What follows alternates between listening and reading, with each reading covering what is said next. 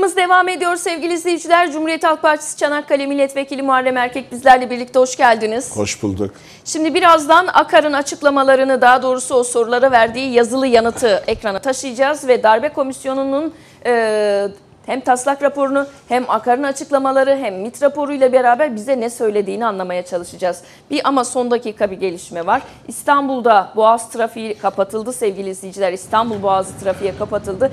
Dev bir gemi geçiyor İstanbul'da. Bu görüntüler Doğan Haber Ajansı'nın canlı görüntüleri. Rusya'dan Türkiye'ye direkt doğal gaz akışını sağlayacak gaz boru hattı inşaatında çalışacak olan 444 metre boyunda 124 metre genişliğindeki boru döşeme gemisi İstanbul Boğazı'na girdi. Dev gemi Karadeniz'e doğru ilerliyor. Geminin İstanbul Boğazı'ndan geçişi nedeniyle tüm vapur seferleri iptal edildi.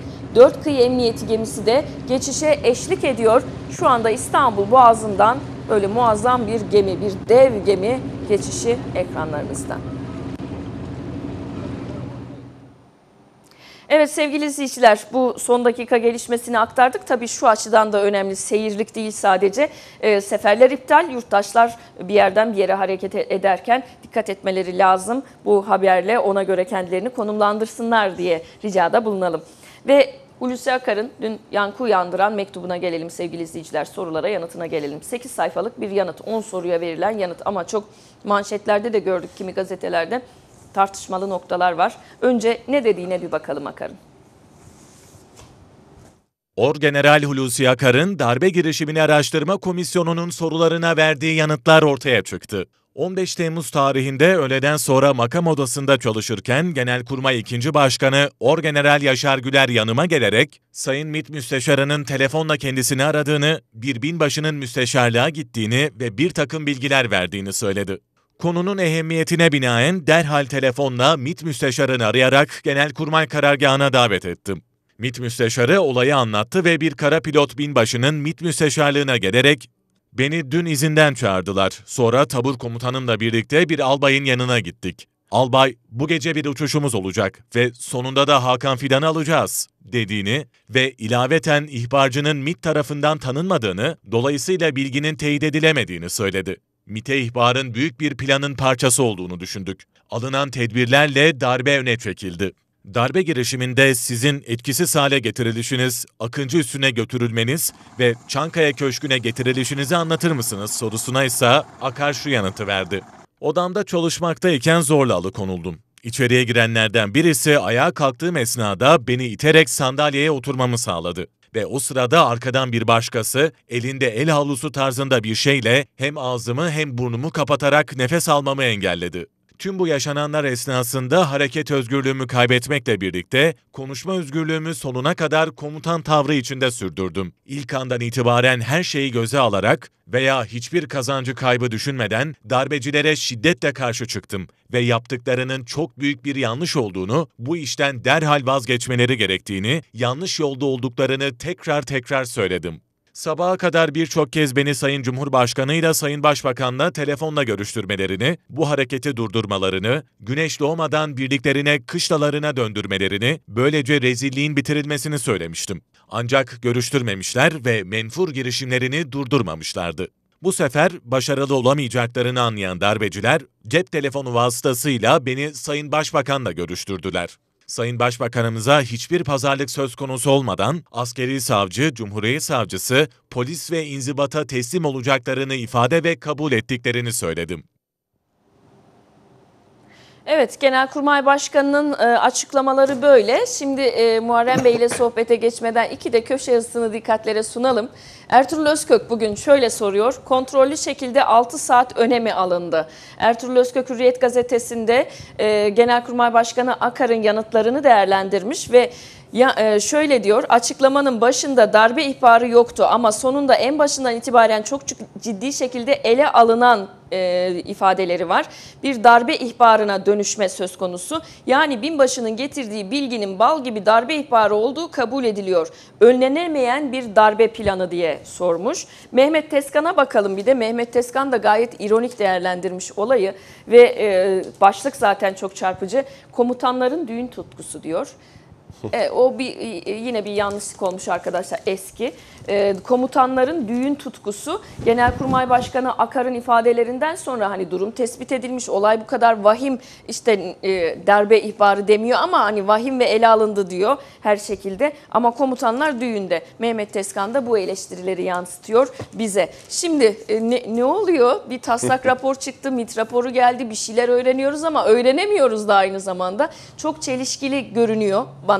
Siz e, incelediniz. Ne öz olarak ne var bu darbe raporunda? Teşekkür ederim. ve Öncelik, Akar'da. öncelikle şunu söyleyeyim. Ee, Genelkurmay Başkanı Hulusi Akar'ın darbe komisyonuna gelip ifade vermesi gerekirdi.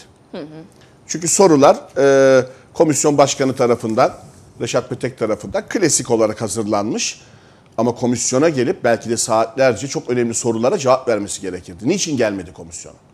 MİT müsteşarı niçin gelmedi? Kuvvet komutanları niçin gelmedi? Başbakan, Cumhurbaşkanı niçin darbeyi araştırma komisyonuna meclise gelip ifade vermediler? Çünkü aydınlanması gereken çok nokta var. Meclisin, milletin iradesinin üstünde değil hiç kimse.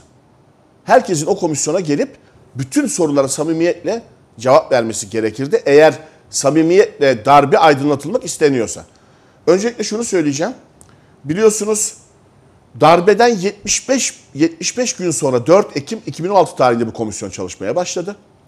AKP üyelerini çok geç bildirdiği için özellikle ve 3 ay sonra e, Sayın Recep Tayyip Erdoğan darbe araştırma komisyonu çalışmalarını sonlandırmalıdır dedi.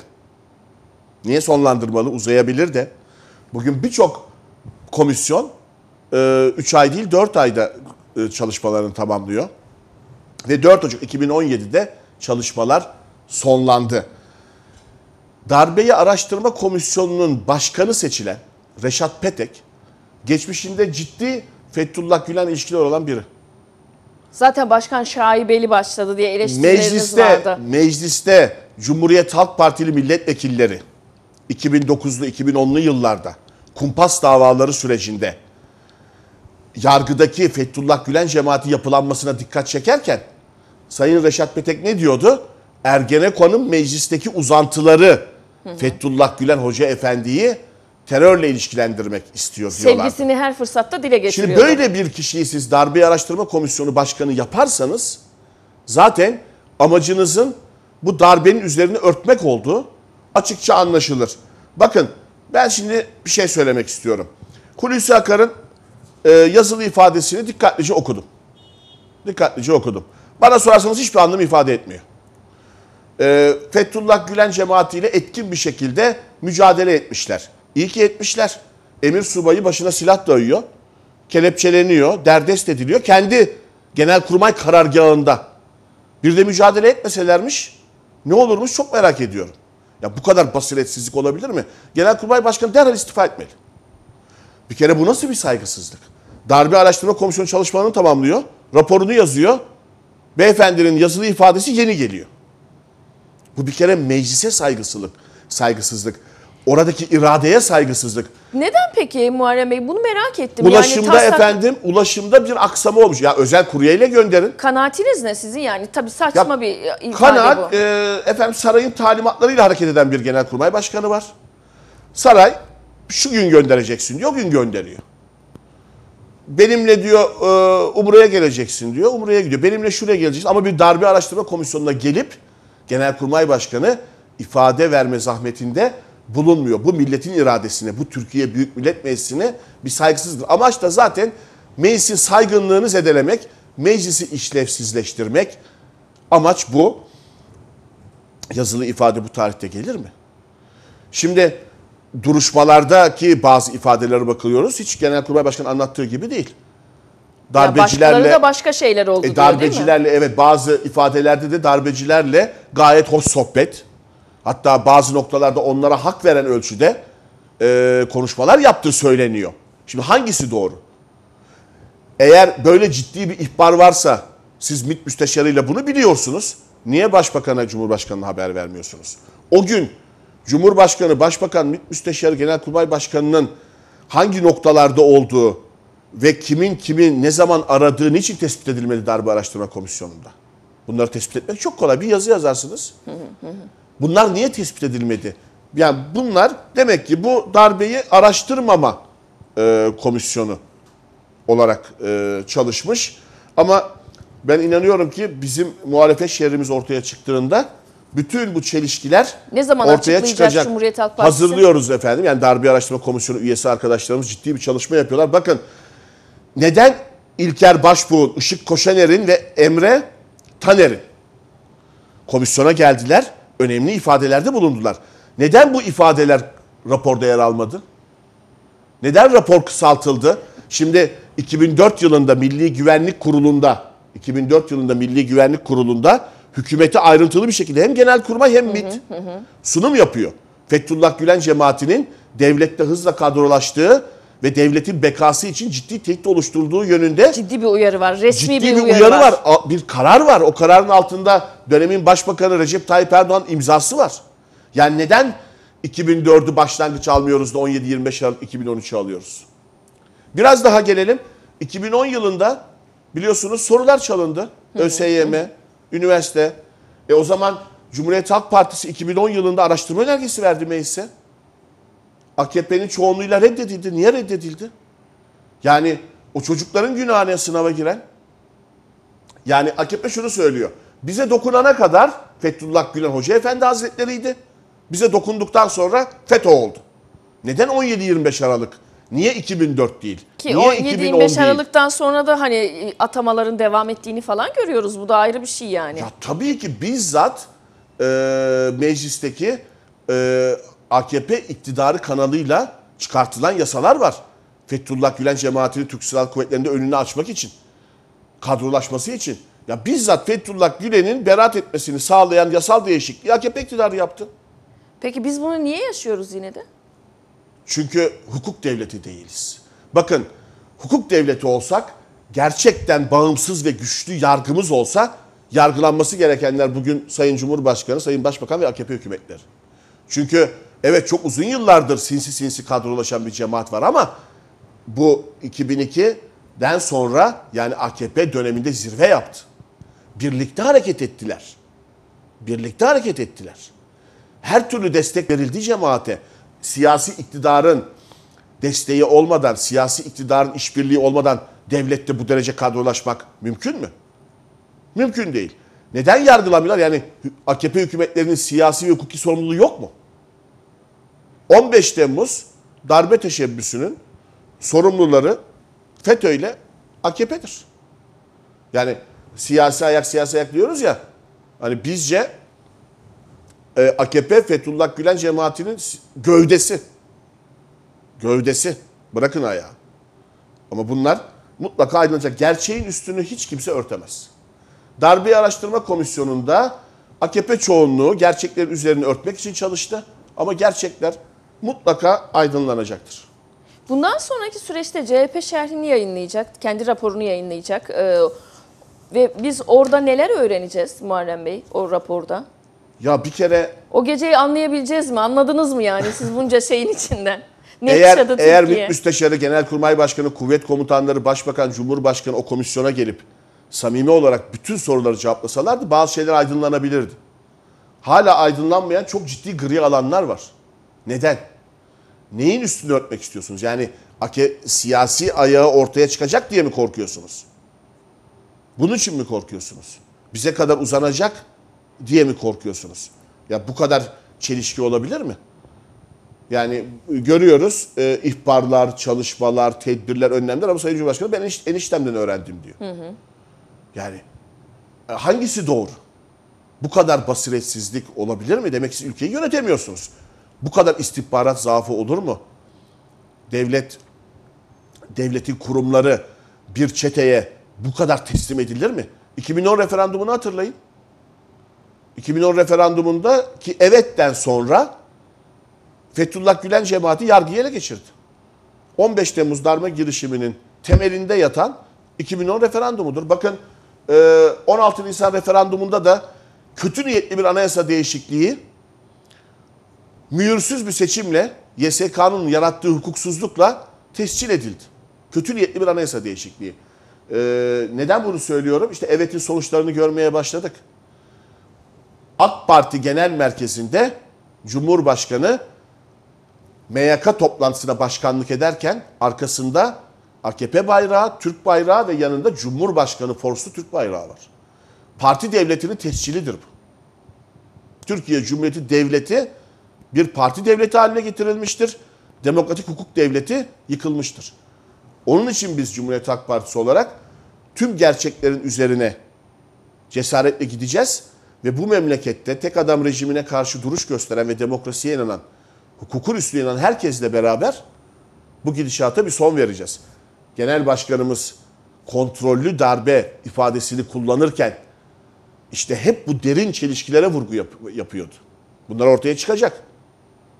Bakın Sayın Özkök de aynı vurguyu yapıyor şimdi. Şimdi o zaman burada şunu söyleyelim. Dar, gerek MIT raporu, gerek darbe komisyonunun taslak raporu, gerekse Orgeneral e, Hulusi Akar'ın ifadelerine bakarak biz bu kontrollü darbeyi mi görüyoruz? Neyi görüyoruz? Sonuç olarak neye vardınız siz? Ne olduğuna dair kanaat oluştu sizde? Darbe Araştırma Komisyonu'nun başkanlığına Reşat Pete'yi getiriyorsanız, geçmişte FETÖ ile ciddi ilişkileri olan, Fethullah Gülen'e övgüler düzen, onu her platformda savunan birini getiriyorsanız ve Darbeyi Araştırma Komisyonu'nun çalışmaları Cumhurbaşkanı'nın talimatıyla sonlandırılıyorsa, kilit isimler, nedir en önemli iki kilit isim Genelkurmay Başkanı ve Müsteşarı değil mi? Bunlar Darbeyi Araştırma Komisyonu'na gönderilmiyorsa, ifade için. E o zaman demek ki kontrollü bir şeyler gerçekleşti. Öyle değil mi? yani Biri bunun izahını vermeli çıkıp da ya neden MİT Müsteşarı Genelkurmay Başkanı darbe komisyonuna gelmedi? 246 gönderilmedi. yurttaşımızın Neden? öldüğü Evet. Neden? İnsanlar Olaylar neden ölmüş. yaşandı? İnsanlar ölmüş meydanlarda. Bakın hala bunun acılarını yaşıyoruz ve yaşayacağız uzun süre daha. İki tane kilit isim. İki tane kilit isim. Neden? Bugün Ki şunu da hatırlatalım e, isterseniz Cumhurbaşkanı Erdoğan dereyi geçerken at değiştirilmez ifadesini de kullandı. Hani o ifade de ne anlama geliyor onu da hala anlamış değiliz galiba. E, ne dersiniz? Yani neyi kastetti? Ee, attan. At kim? At kim yani kendileri mi, başkaları mı, birlikte hareket ettiği insanlar mı? Yani neyi değiştirmek? Türkiye'nin aslında ciddi bir değişime ihtiyacı var. Ciddi bir dönüşüme ihtiyacı var. Bizim Cumhuriyeti demokrasideki taşlandırmamız lazım. Bakın o hal sürecinde demokrasi ve hukuk askıya alındı. On binlerce mağduriyet var. Hukuksuzluklar var. Ee, Türkiye demokrasiden ve özgürlüklerden koptu. İçeride başka dışarıda başka konuşan bir cumhurbaşkanı var. Bakın görüyorsunuz e, referandum sürecinde e, hani Avrupa Haçlı İttifakı'ydı? E, Şimdi Haçlı İttifakı'yla niye peki oturup yol haritası belirliyorsunuz? Niye işbirliği yapıyorsunuz? Siz Haçlı İttifakı nitelediğiniz bir yapıyla oturup işbirliği yapıyorsanız, yol haritası belirliyorsanız bu ne anlama gelir? Vatana ihanet suçu mu oluşturur bu? Ne oluşturur bu? O zaman Avrupa Haçlı İttifakı değil, yalan söylediniz siz millete. İkisinden biri. Ya siz millete yalan söylediniz, Haçlı İttifakı diyerek Avrupa'yı öyle gösterdiniz. Eğer doğruysa söylediğiniz, eğer gerçekten Haçlı İttifakıysa niye oturup bugün Haçlı İttifakı ile oturup yol haritası belirliyorsunuz? Yani nedir bu? Yani Türkiye böyle yönetilemez. Türkiye böyle gidemez. Sabah başka, akşam başka, içeride başka, dışarıda başka. Avrupalı muhataplarınızla görüşürken idamı gündeme getirmiyorsunuz.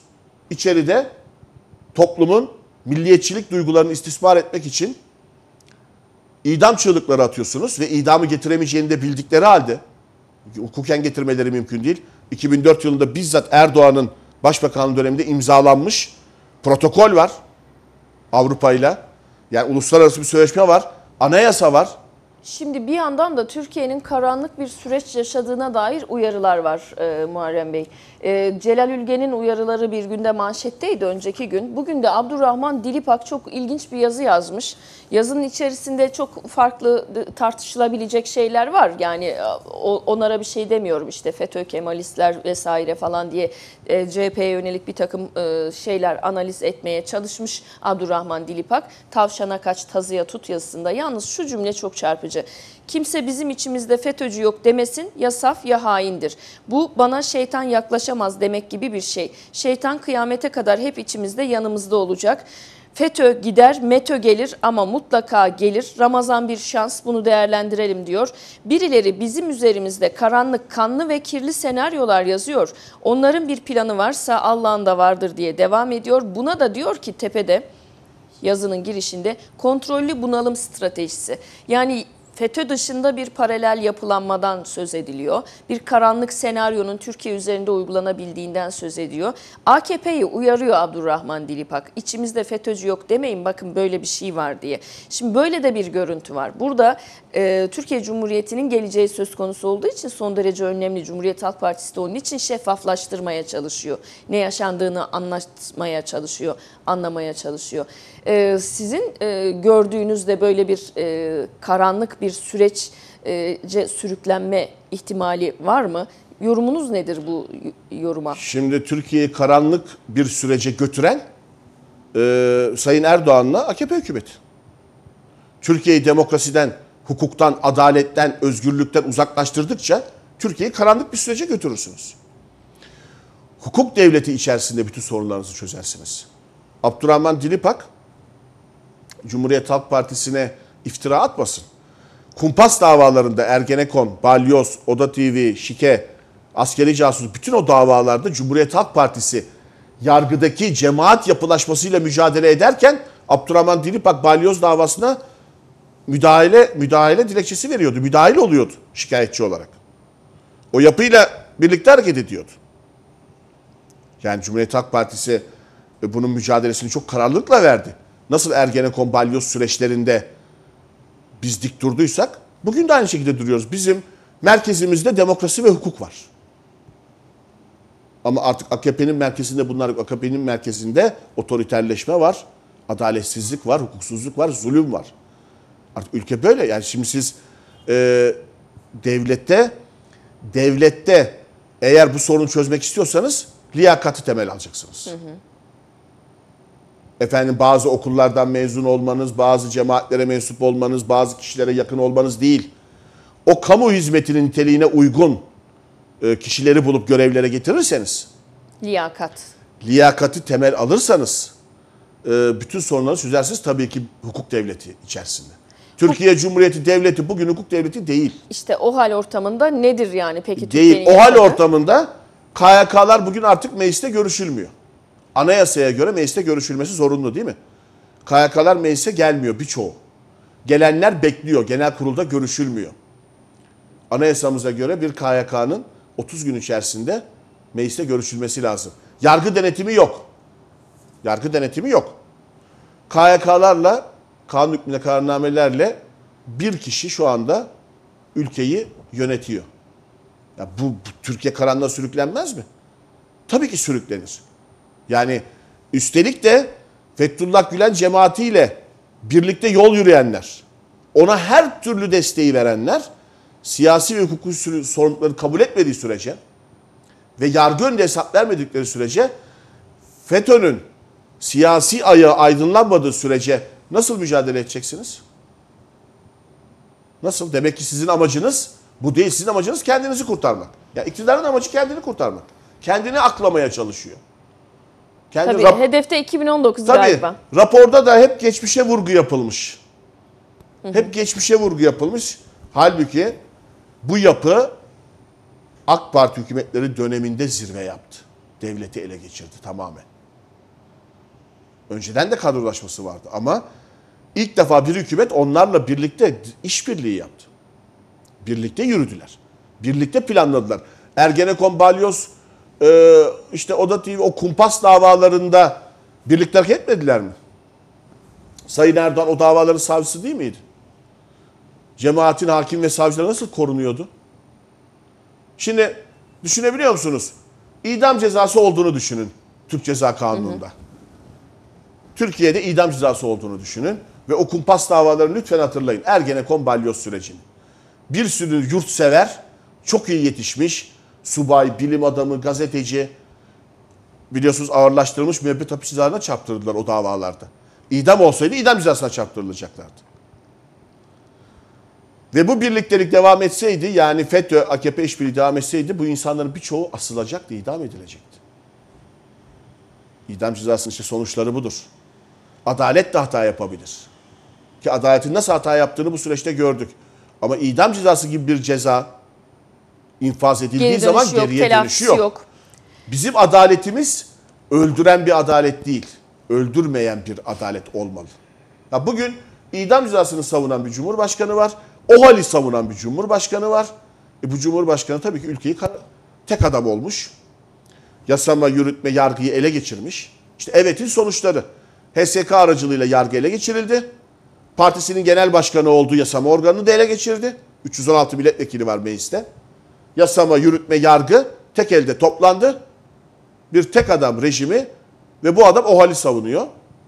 Türkiye tabii ki karanlığa sürüklenir. Peki ne yapmak lazım? Karşısına Cumhuriyet Halk Partisi ne diyor şu anda? Ee, 2019 hazırlıkları yapılırken tabii o tarafta belirgin bir lider aday var.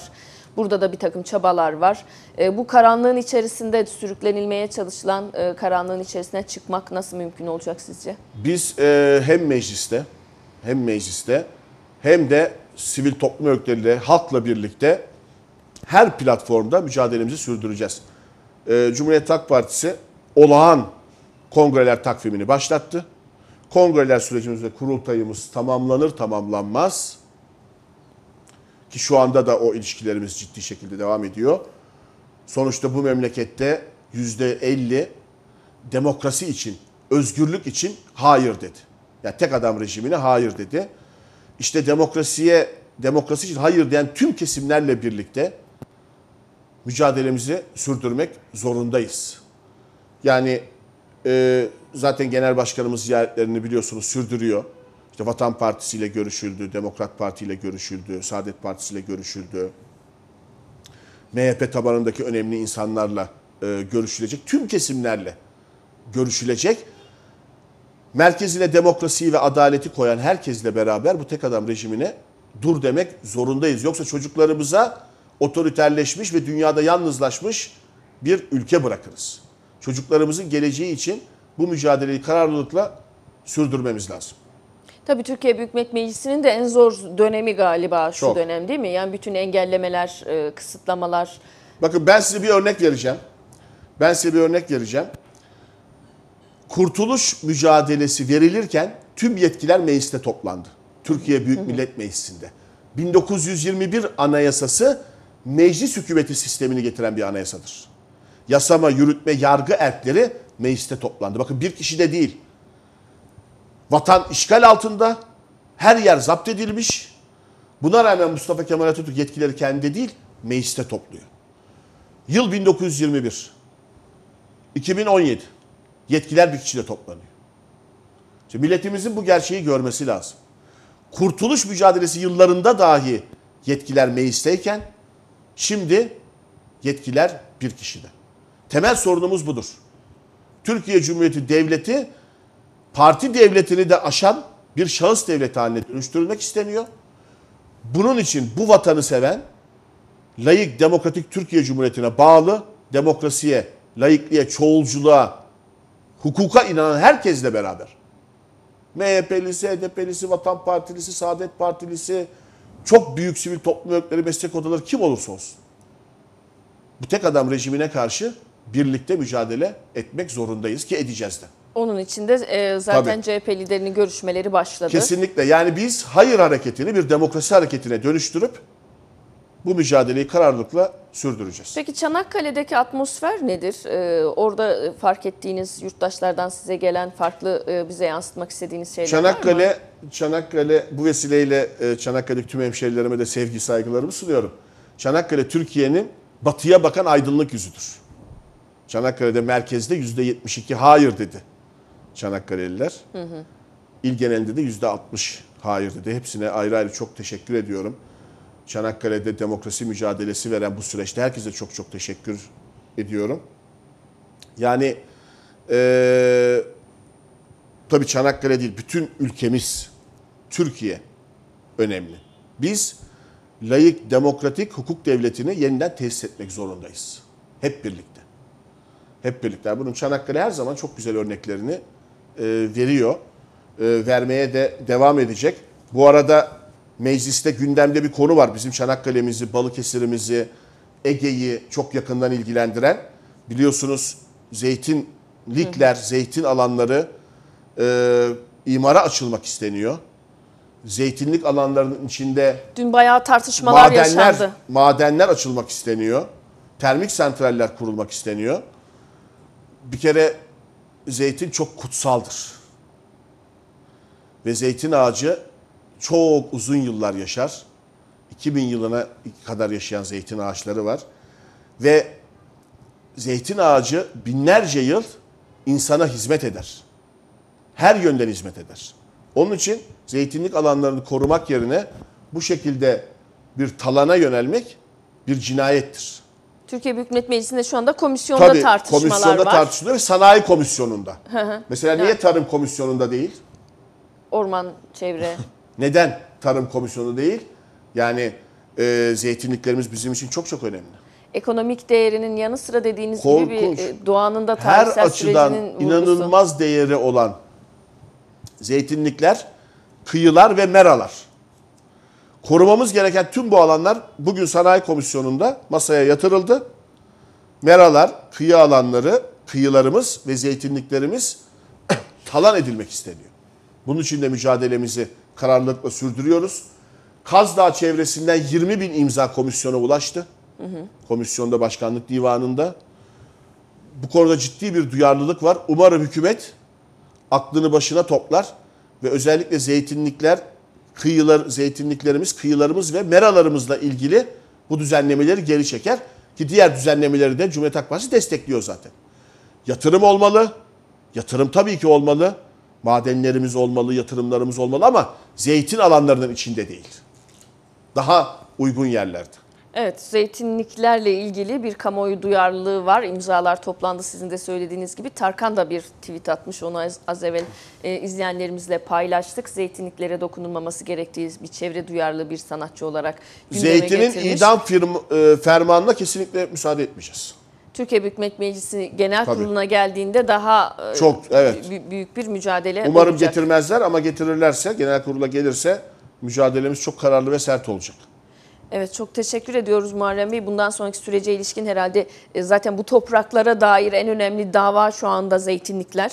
E, topraklarla ilgili Türkiye Cumhuriyeti'nin doğasıyla ilgili Cerrahtepe'yi geride bıraktık işte onun yasal süreci bekleniyor falan derken şimdi gözümüz kulağımız özellikle zeytinlik arazilerde ve Türkiye Büyük Millet Meclisi'nde olacak. Çocuklarımıza temiz bir çevre bırakmak zorundayız. Onun için ben Kaz Dağları'ndan Cerattepe'ye doğa için, çevre için mücadele eden herkese buradan sevgilerimi, saygılarımı sunuyorum. Selam olsun diyelim o mücadeleci karakterlere. Evet e, Muharrem Erkeği uğurlayacağız sevgili izleyiciler. E, Çanakkale'ye de selam olsun bu vesileyle diyelim. Kaz Dağları e, özelinde vurguladık e, mücadelenin süreceğini. Zeytinlik mücadelesi Türkiye Büyük Millet Meclisi'nde. Bir aramız var. Reklamlardan sonra karşınızda olacağız. Programımız devam ediyor.